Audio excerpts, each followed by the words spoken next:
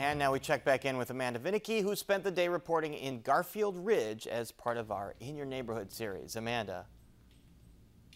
Maybe this weekend or next for the Labor Day holiday, you're planning to travel, perhaps taking a flight out of Midway. We have with us now Elizabeth Granados Perez. I want to get this title right. You're Managing Deputy Commissioner for Midway Operations, also, by the way, a Garfield Ridge resident. So thanks for joining us. Now, of course, early in the pandemic, the travel industry was devastated by COVID and restrictions. So, what was the impact like for Midway, and has it rebounded?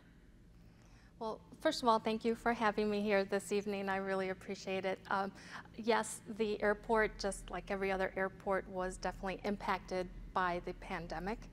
Um, but as history has shown us, the aviation industry as well as the airlines have rebounded through many other challenges, and so we're confident that they are going to rebound through this challenge as well.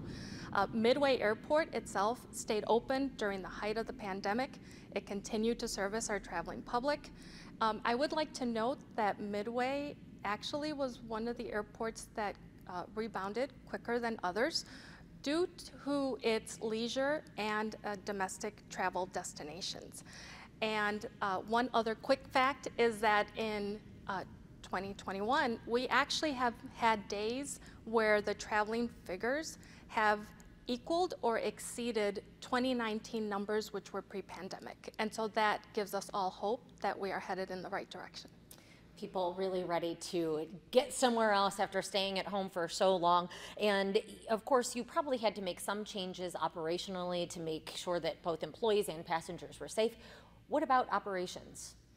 So first and foremost, I'd like to say that the uh, safety and health of our passengers as well as our employees is first and foremost for us.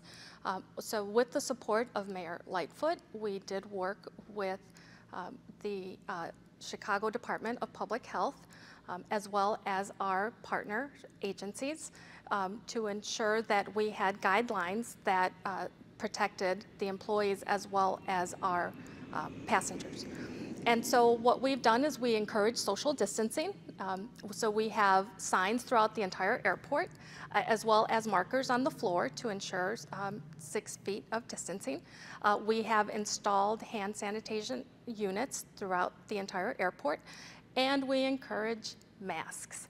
Uh, so masks need to be worn in the airport.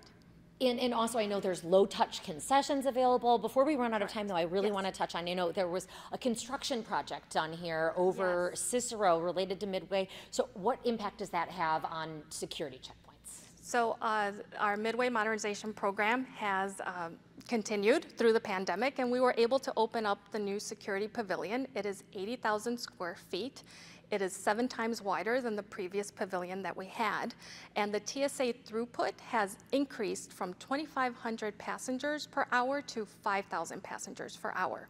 So it is a new great uh, amenity that I hope everyone can come out and see makes it a lot easier, faster when you Correct. can get through security quickly when you are looking to travel again. Perhaps you are looking to do so coming up for the holiday weekend in early September. Thank you so much again. That was Elizabeth Granados Perez with the city's aviation department. And wow, time flew. Back to you guys. Time flew. I saw what you did there, Amanda. Thanks very much. And up next,